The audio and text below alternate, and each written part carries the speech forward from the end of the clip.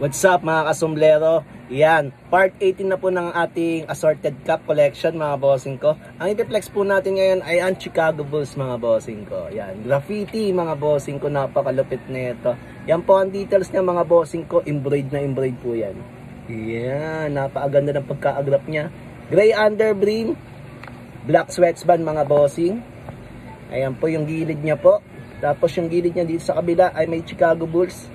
At meron siyang NBA logo sa likod mga bossing ko. Kaya napaka-pogi na ito mga bossing ko. Yan, ulit ko po.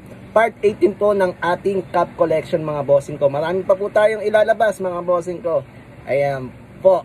Ayan, maraming maraming salamat po sa inyo mga bossing ko. Kaya subaybayan nyo pa yung mga ipiplex nating mga sombrero. Maraming maraming salamat po and God bless you all.